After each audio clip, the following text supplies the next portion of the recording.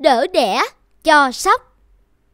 Đã từ lâu lắm rồi, ở vùng núi Can Quân có một đôi vợ chồng già nọ. Họ không có mụn con nào, vì vậy chỉ có hai ông bà sống bên nhau trong căn nhà nhỏ, không người chăm nom săn sóc. Ngày ngày, ông lão đang dép bằng sợi rơm, sợi cói, rồi mang ra chợ bán.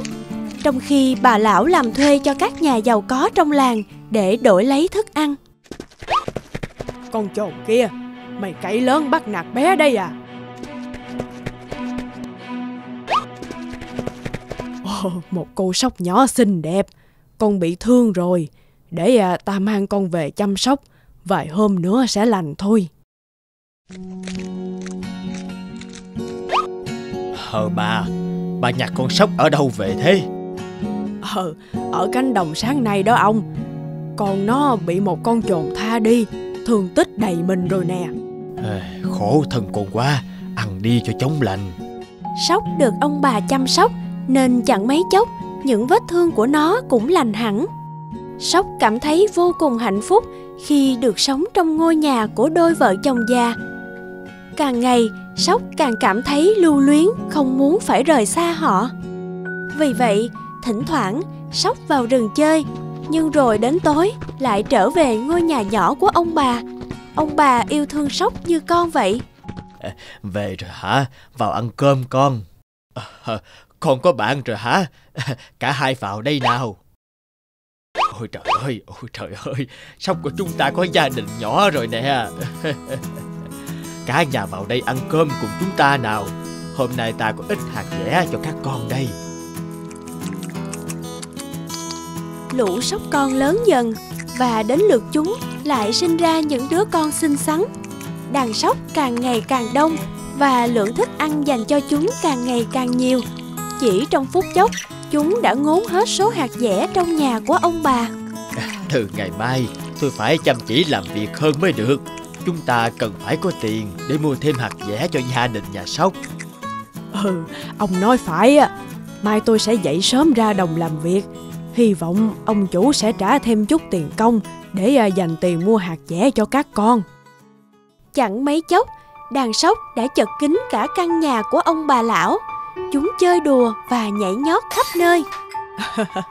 không sao đâu, trẻ con nghịch ngợm chút không có sao, nhưng đừng có làm vỡ bát đũa nha.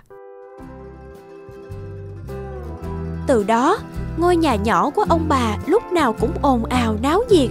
Ông bà chẳng lấy làm phiền mà còn rất cảm thấy hạnh phúc vì họ không còn cô đơn như trước kia nữa.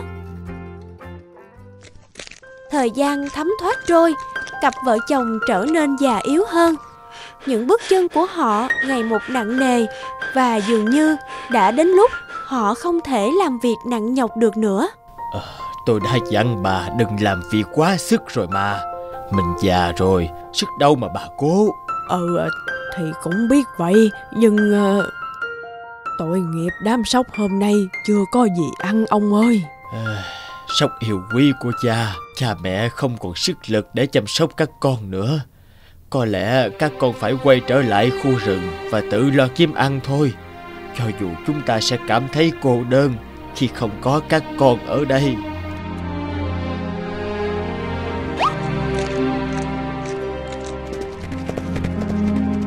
Vợ chồng già cảm thấy như vừa mất đi những đứa con của họ.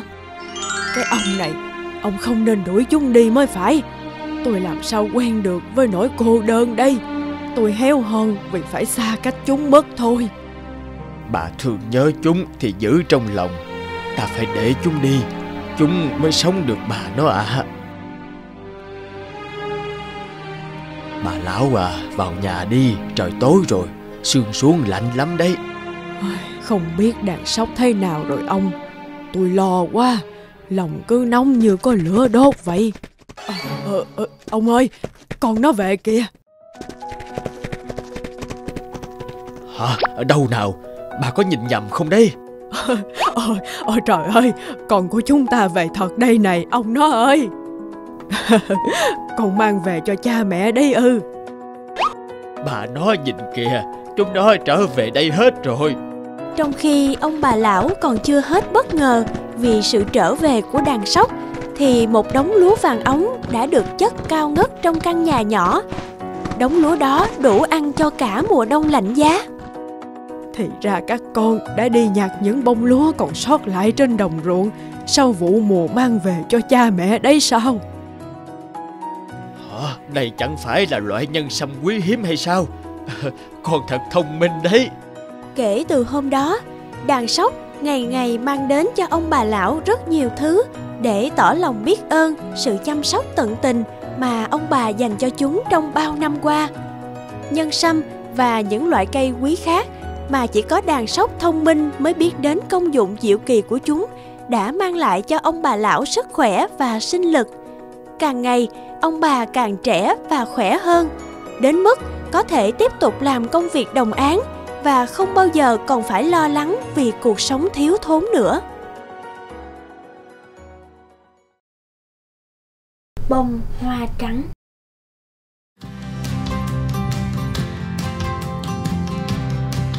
Hôm nay ông đừng làm việc quá sức nha Cháu có gói thêm cơm nắm cho ông đi đường đây ạ à?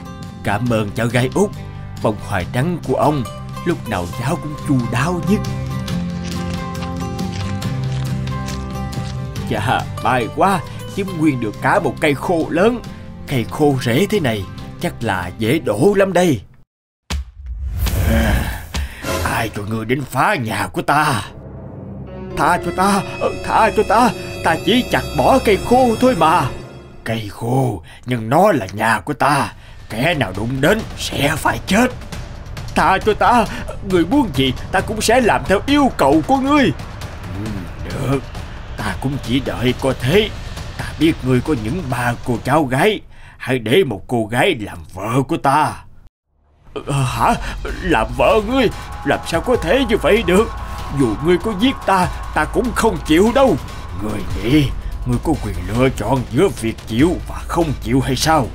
Hoặc là một trong ba cô cháu gái của ngươi sẽ làm vợ ta.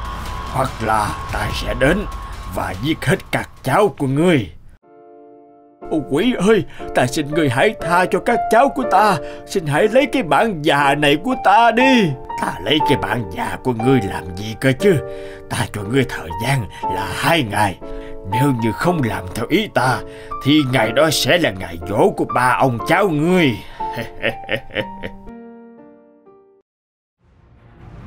Về nhà, ông lão buồn rầu lắm.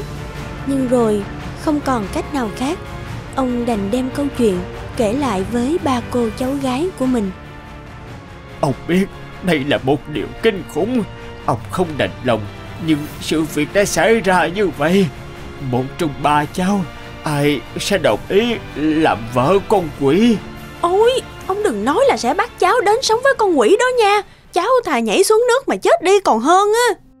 Không đợi nào lại là cháu đâu ông ơi Nếu ông cứ nhất quyết bắt cháu Cháu sẽ bỏ đi thật xa Xa thật luôn đó Cháu đâu phải là người gây ra chuyện này cơ chứ Phải rồi Đây không phải là lỗi của các cháu Ông không nên để các cháu phải gánh chịu Nhưng con quỷ hung ác ấy Nhất định không để ông gánh chịu chuyện này một mình Ông ơi Ông đừng lo lắng ạ à. Cả đời ông đã hy sinh Chăm sóc cho ba chị em cháu mà chúng cháu chưa một lần nào có thể đền đáp điều gì đó cho ông.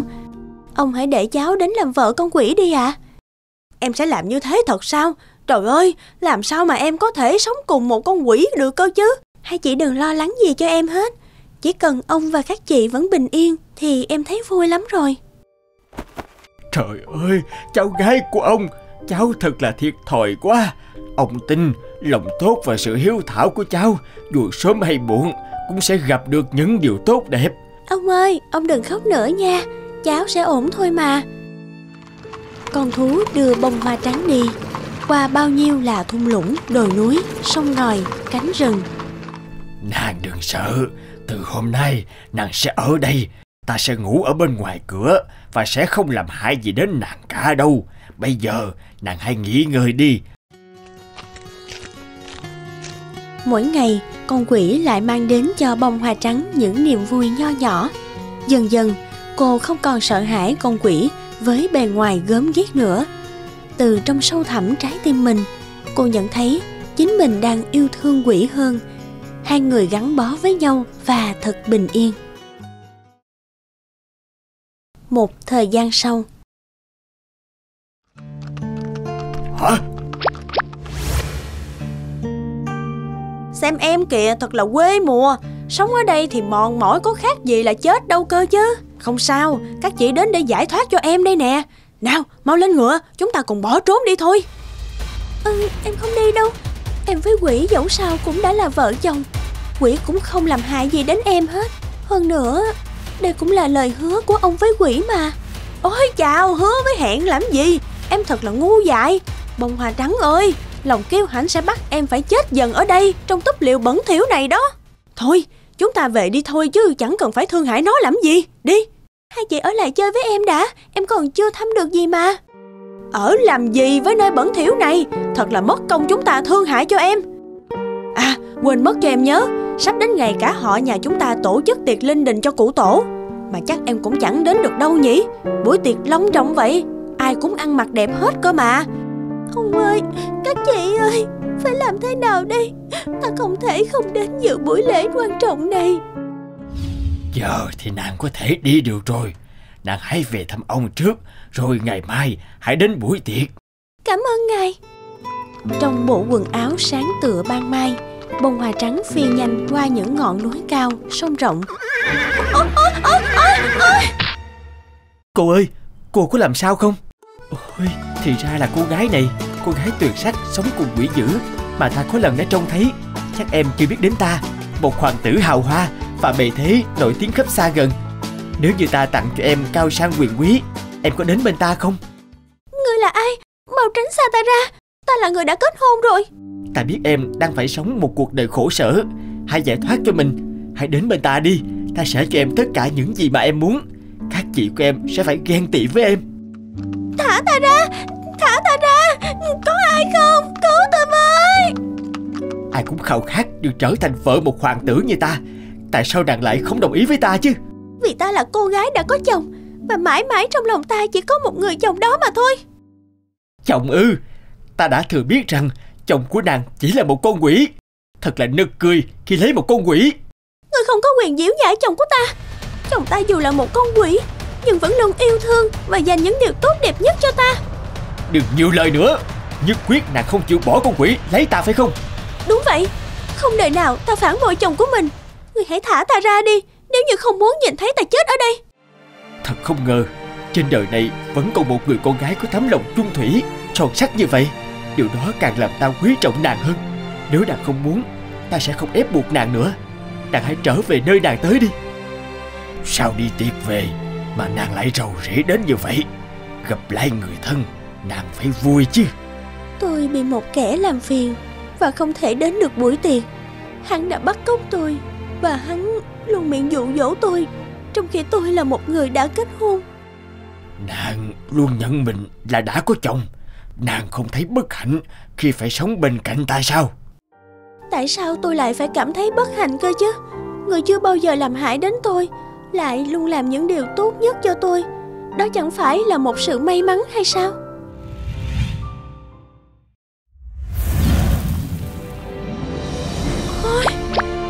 Bông hỏi trắng hiền lành của ta. Đã 7 năm, ta làm kiếp thú, Vì phạm phải lời nguyền. Chính lòng chung thủy và trái tim nhân hậu của nàng Đã giúp ta thoát khỏi phép thuật ác độc kia Từ nay, em hãy ở bên ta, Thật hạnh phúc nha Bông hoa trắng nhỏ bé. Sao chàng không nói cho ta biết sớm hơn, Để ta chia sẻ nỗi khổ cực với chàng? Chúng ta là vợ chồng cơ mà.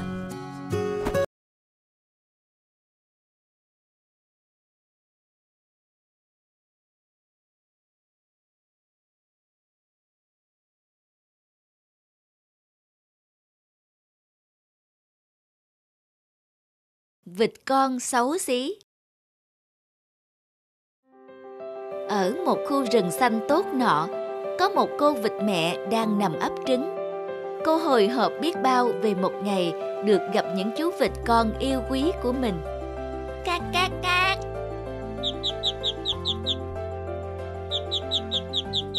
Cô vịt, chúc mừng con nha. Đàn con mới nở xinh quá. Cảm ơn chị. Sao còn nằm đấy mà không đi dạy lũ con mình tập bơi đi? Còn một quả trứng to nhất nữa vẫn chưa nở chị à. Ôi chào, quả trứng to như thế chắc có lẽ không phải là trứng của cô đâu. Không khéo lại là trứng gà tây đấy. Cô cứ để mặc kệ đi. Không, tôi nhất định phải ấp để quả trứng nở được mới thôi. Ngày qua ngày, rồi quả trứng cuối cùng cũng nở thành con. Thật kỳ lạ, cái cổ sao mà dài, trông thật lạ. Màu lông thì lại xám xám, chứ chẳng vàng ươm như con mình. Chẳng lẽ... Ờ,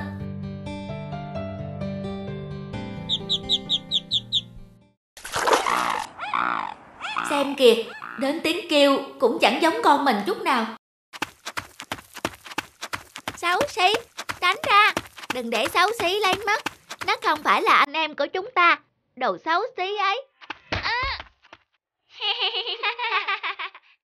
đồ xấu xí, loài vật của chúng ta chẳng ai như thế cả. Con à, ta thấy thật đáng tiếc, nhưng có lẽ đây không phải là nhà của con. Ta nghĩ là con nên đi tìm gia đình của mình đi nhé. Chắc là bố mẹ con cũng đang ở gần đây thôi. Có thật là mình sẽ tìm được gia đình không? Liệu có ai chấp nhận một kẻ xấu xí như mình không? Ôi không! Lẽ nào vì mình xấu xí đến mức những con chó kia cũng không thèm cắn mình sao?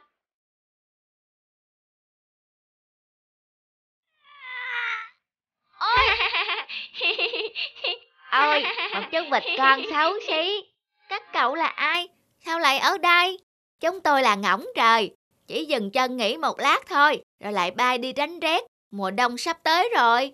Đi tránh rét, bay lên trời, cho tôi đi với có được không? Cậu ư, cậu nghĩ mình có thể cất đôi cánh lên bầu trời cao rộng này hay sao?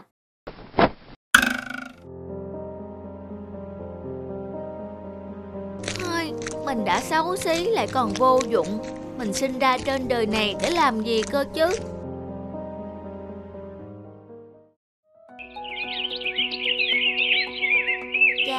Mùa xuân đã đến rồi. Kỳ lạ, mình có cảm giác đôi cánh của mình khỏe khoắn hơn lúc trước rất nhiều. Cha, cha, phía trước có một cái hồ trong lành và mát mẻ quá. Họ xinh đẹp như vậy thì càng không phải là họ hàng của mình. Này, bạn từ đâu đến vậy? Xuống đây chơi với chúng tớ. Xuống đây, xuống đây tắm với chúng tớ nào. Áo cánh của bạn bám đầy bụi rồi kìa. Họ không những xinh đẹp mà còn thật thân thiện nữa.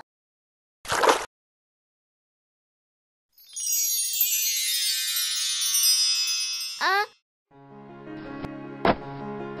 Đó, cậu thật xinh đẹp và lộng lẫy trong bộ cánh trắng muốt, tinh khôi. Hãy ở lại đây với chúng tớ. Bạn Thiên Nga xinh đẹp. Ơ, à, Thiên Nga ư? Phải, cậu cũng giống như chúng tớ, là những chú Thiên Nga đẹp đẽ, tuyệt vời của hồ này. Thật vậy ư? Hóa ra mình không phải là vịt con xấu xí. Trời ơi, mình là Thiên Nga, Thiên Nga xinh đẹp. Vậy mà mình đã mất đi một quãng thời gian tuyệt vời chỉ bởi quá để ý đến những lời bình phẩm của mọi người. Hãy like, comment, subscribe kênh để xem thêm những video mới nhất nhé!